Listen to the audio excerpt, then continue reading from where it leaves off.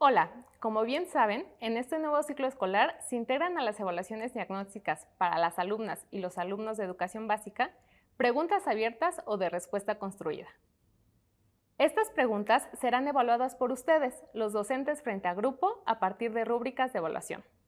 En esta cápsula hablaremos un poco sobre el uso de estos instrumentos para valorar las respuestas abiertas en la asignatura de lectura. Veremos cuáles son sus características, revisaremos un ejemplo y analizaremos una ruta analítica que le sugerimos seguir para su uso y aplicación. Primero, respondamos a la pregunta, ¿de dónde surgen las preguntas abiertas que se integran a la evaluación diagnóstica? Las preguntas abiertas de esta asignatura se diseñaron considerando los procesos de lectura que los estudiantes de cada grado deberían dominar de acuerdo con los planes y programas de estudio vigentes. En este sentido, la puntuación más alta de la rúbrica se relaciona con los estándares curriculares y los aprendizajes esperados establecidos para cada grado.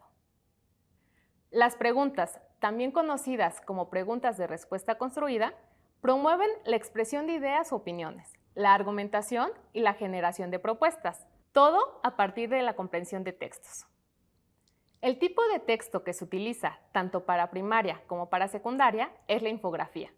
A partir de ella, se hace un cuestionamiento al estudiante, quien deberá dar respuesta mostrando su nivel de comprensión. Todas las preguntas de esta área de conocimiento se relacionan con alguna de las siguientes unidades de análisis. Localizar y extraer información, analizar la estructura de los textos o integrar información y generar inferencias. Las rúbricas que se utilizarán para evaluar las respuestas abiertas de los estudiantes tienen las siguientes características. 1. Son holísticas o globales, ya que se valora la tarea del estudiante en su totalidad y se le asigna un puntaje para obtener el nivel de desempeño observado. 2. Tienen cuatro niveles de desempeño, del 0 al 3, siendo el 3 el puntaje más alto. 3. Cada nivel tiene una descripción que caracteriza el desempeño de la respuesta. En el nivel 0, el estudiante no demuestra el desempeño esperado, no emite una respuesta o bien este es ilegible.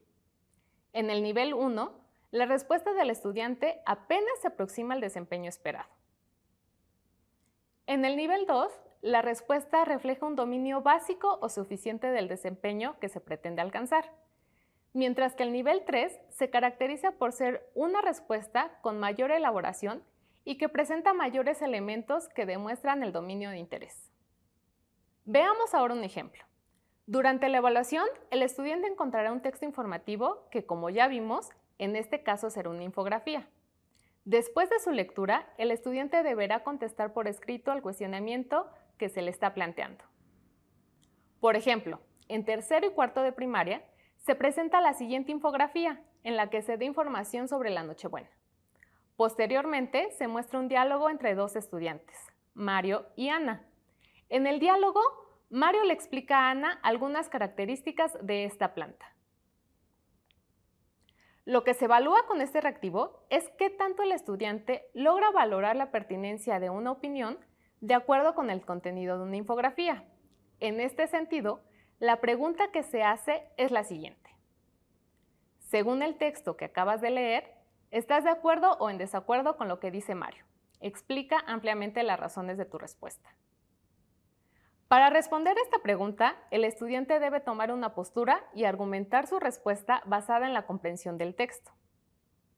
En este ejemplo, Mario describe tres características de la Nochebuena que de acuerdo con el texto son falsas.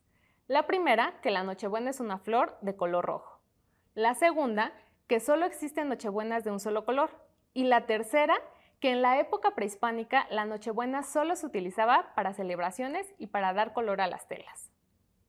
En la rúbrica que evalúa el desempeño de esta pregunta, los cuatro niveles de desempeño se presentan de forma creciente alrededor de estas tres ideas centrales para conocer qué tanto el estudiante logró comprender que la información dada por Mario es falsa. Como se observa en esta imagen, en el nivel 1 se ubicarán todas aquellas respuestas que en su explicación recupere una de las ideas centrales enunciadas. En el nivel 2 deberá recuperar dos ideas mientras que en el nivel 3 se ubicarán todas aquellas respuestas que en su explicación recuperen las tres ideas ya mencionadas. Para el uso de la rúbrica, le sugerimos seguir la siguiente ruta. 1. Conocer la rúbrica.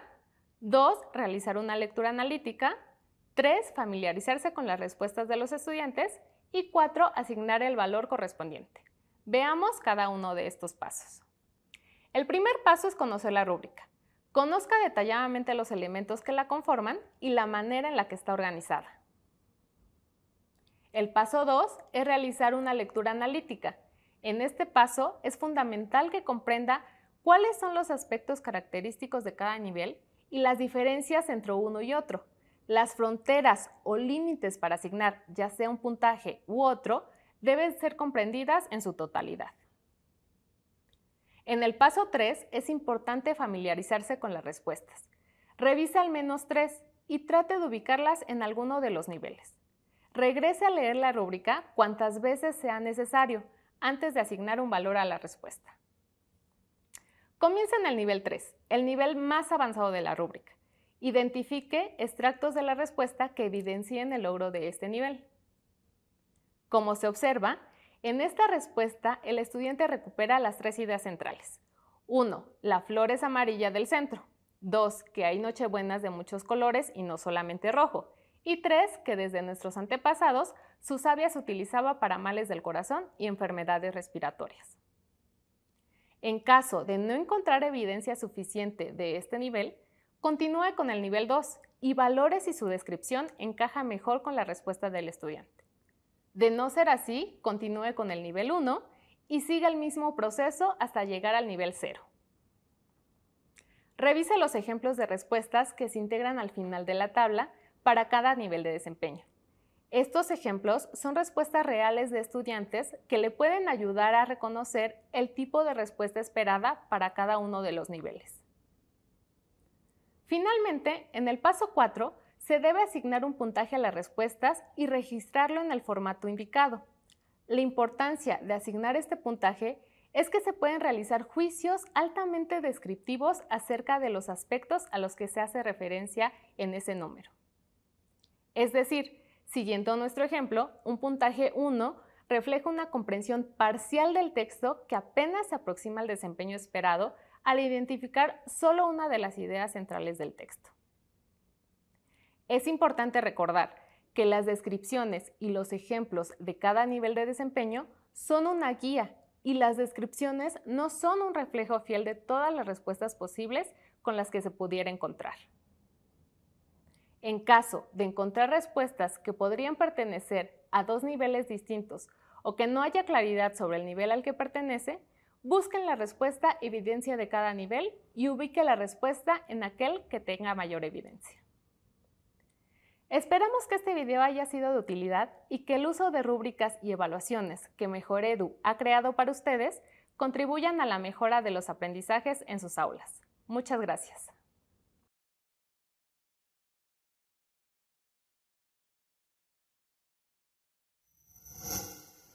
Gobierno de México.